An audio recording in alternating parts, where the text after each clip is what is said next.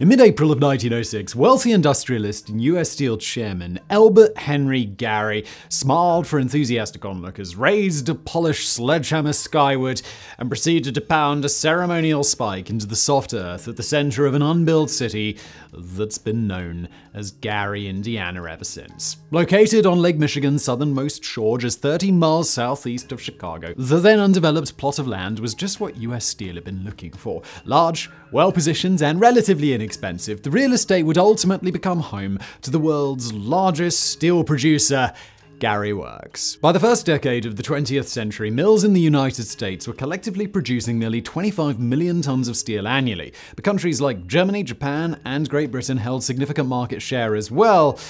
I wanted more. Competition was fierce, and every advantage would need to be exploited to the fullest if the country was to remain on top. Gary's proximity to raw materials like coal and iron ore, to metropolitan areas and huge industrial centers, and to rail, road, and maritime transportation hubs all seemed to indicate that the proposed mill would ensure dominance well into the foreseeable future. That said, decades after it was built, Gary was beset by a series of unforeseen forces that ultimately led to one of the most epic social and economic downfalls in all of American history. Now, today we look at Gary, Indiana, the company town that America abandoned.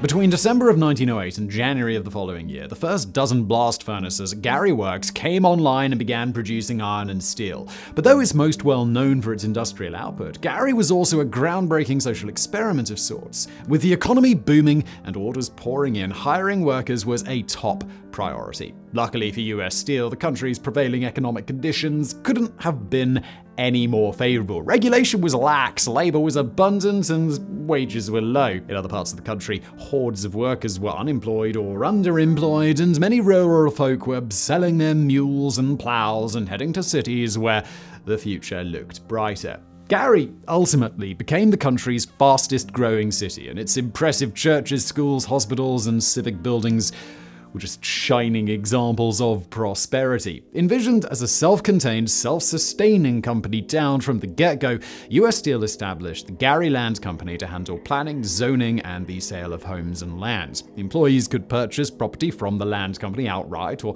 secure financing through a local bank, but to minimize speculation and keep prices steady, structures had to be erected within 18 months of signing a contract. On the downside, ownership was generally reserved for management, foremen, and skilled laborers. Advertised as the Magic City and the City of the Century, Gary seemed to be living up to the marketing hype.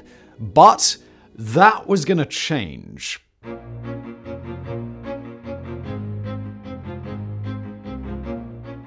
The lure of easy money affected shady real estate speculators, money lenders, and private developers, many of whom were intent on cashing in on the naivety and ignorance of the workers who were flooding into the area. And flood in they did. By 1921, Gary's population had topped 50,000 people. Just a decade later, that number had doubled. By then, nearly 50% of the city's residents were first generation immigrants and their American born children. Most were relatively poor, and they were unskilled workers from Italy, Greece, Poland, Russia, and the Balkans. On the other hand, managers were generally native born Americans, Englishmen, and Irishmen. Though their numbers were relatively low, most of the mill's African American workers had migrated from the Deep South, where, thanks largely to Jim Crow laws, conditions were often nearly as deplorable as they'd been before the Civil War. This great migration accelerated during the First World War when European immigration slowed to a trickle. In addition, the company actively recruited workers from south of the border, and by 1930s, Mexicans accounted for nearly a tenth of the overall population. As business boomed, jobs were available for nearly everybody, regardless of race, skill, or education. Employers anxious to fill long vacant positions often asked applicants, can you start today? The industrial behemoth was gathering strength and wealth was being spread around like never before. But in many respects, US Steel's melting pot was a giant powder keg just waiting for a spark. In fact, the city was rife with corruption, racism, and social stratification, all of which contributed to its downfall. The South Side was primarily home to Mexicans, African Americans, and less educated European immigrants who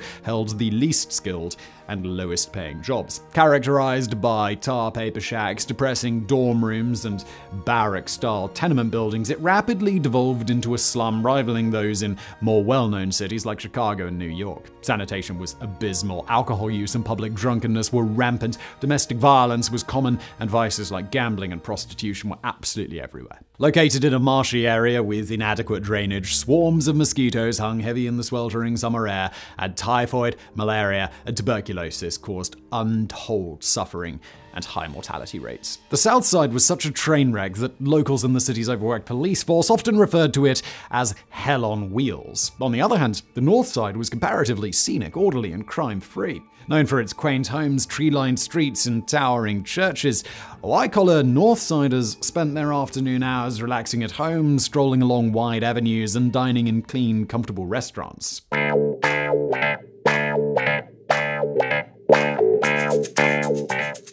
Less than a decade after Gary Works began producing steel, it had become the largest mill in the country, and its workforce had grown to nearly 16,000 people. By 1920, Gary Works consisted of 12 blast furnaces, nearly 900 coke ovens, 45 open hearth furnaces, and dozens of machine shops spread over nearly 400,000 square feet. That's about 37,000 square meters. The mill collectively produced everything from steel plates and rivets to train wheels and truck axles, which were shipped to manufacturers manufacturers and construction projects all over the world. Each day, the works' berths on Lake Michigan accepted massive freighters that unloaded tens of thousands of tons of raw material that were moved around the sprawling facility by truck, rail, and conveyor. All told, the various facilities consisted of nearly a million tons of steel, 170 million bricks, and tens of thousands of tons of concrete. During the Second World War and well into the 1950s, America was the world's leading steel producer, accounting for approximately 40% of global production.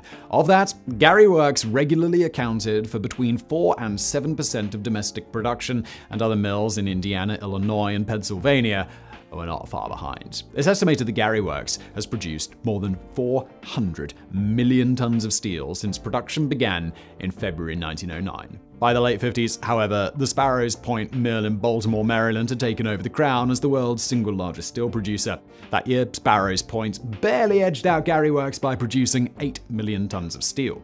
But though domestic and international competition was increasing, Gary's expansion continued upwards. By 1950, the population had reached 134,000, and 20 years later, it had grown to 175,000, of which about 30,000 worked at the mill. As in steel powerhouses like Baltimore and Pittsburgh, shifts worked around the clock, and many businesses remained open 24 hours a day to cater to men and women with odd schedules.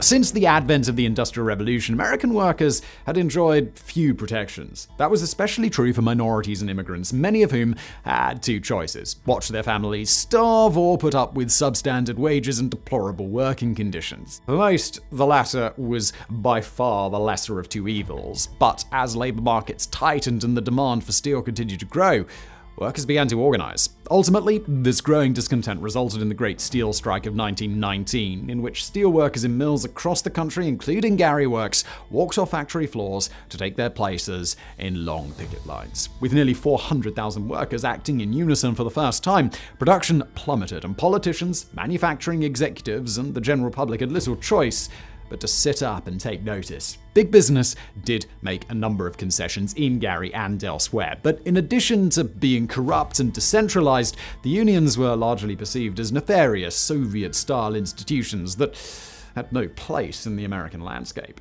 The strikes led to few lasting improvements, and in the end, workers and management formed an uneasy truce and got back to the business of producing steel.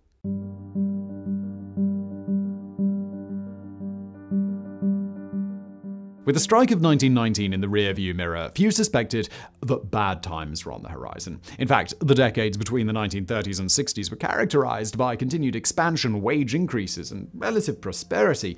However, with rising energy and labor costs, increasing competition, stagnating economies around the world, and the prevalence of automation, by the late 60s, Gary was about to experience an epic reversal of fortune. Though layoffs had been rumored for some time, when they finally came, their scale and their suddenness shocked workers, union representatives, and mid level managers who weren't aware of just how bad things had become. Starting in 1971, thousands of factory workers were let go, and the slow march toward obsolescence continued into the 80s and into the 90s, and ultimately setting in motion a phenomenon called white flight. To fill the low paying jobs left behind by their more mobile white neighbors, more African Americans moved to Gary from Chicago and other nearby cities that had also fallen on hard times. But though many were willing to work hard and put down roots in the community, banks wouldn't lend them money to buy even the most modest houses, even though many of them had been abandoned. Worst yet, the decline spread to hundreds of regional businesses that not only bought the mill's products, but supplied it with a host of invaluable goods and services. By 1972, an article in Time magazine had characterized Gary as a grimy ash heap. By the late 80s, Indiana's mills were still responsible for about one quarter of all steel produced in the United States, but its once 30,000 strong workforce had fallen to less than 8,000. 430 miles to the east in Pittsburgh, dozens of mills were downsized, sold, or closed altogether. Things were not any better in Baltimore. Across the Midwest and Mid Atlantic regions, jobs were disappearing, union contracts were being aggressively renegotiated, businesses were closing, and a host of social ills were besetting the once thriving blue collar cities. By the early 90s, Indiana's Magic City had become the per capita murder capital of America. 1993, the city of nearly 120,000 recorded 110 killings. With a murder rate of 91 per 100,000 residents, Gary made nearby Chicago, with a murder rate of just 30.6 per 100,000, seem like a relative utopia. In Gary, drugs, alcohol, violence, and despair were ubiquitous. But at least outwardly, the hard times were most easily seen in the city's crumbling infrastructure. Now, nearly one quarter of the city's buildings are officially abandoned, although empty hospitals, schools, churches, and museums are often the last refuge of addicts, alcoholics, and the chronically unemployed.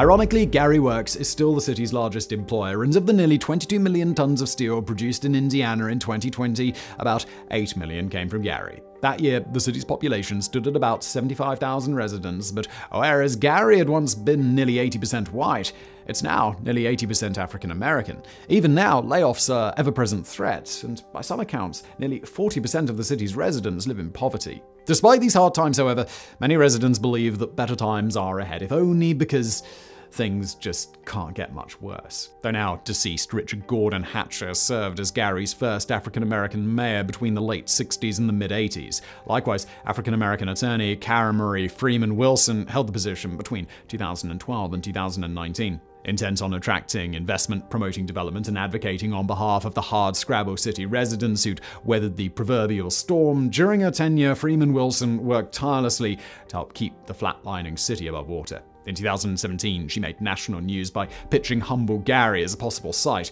for Amazon's world headquarters. Needless to say, Amazon politely declined. Despite the best efforts of politicians, business leaders, and civic organizations, most revitalization schemes have met with limited success. Nonetheless, the city is home to the minor league baseball team, the Gary Railcats, who play in a modern $45 million stadium. These days, many derelict buildings are being demolished, not only to eliminate blight, but to pave a way for much needed development, and the city is offering juicy incentives to entice new businesses and investors. That said, most find it hard to envision a prosperous future when the current state of affairs is just so bleak. In the end, one anonymous resident may have summed up the situation best when he said that Gary was once the steel capital of the world, at least until production moved overseas to countries with far lower labor and energy costs. Then the city became the murder capital of the world, but thanks to its declining population, Gary eventually lost that title too, largely because there was hardly anybody left to kill.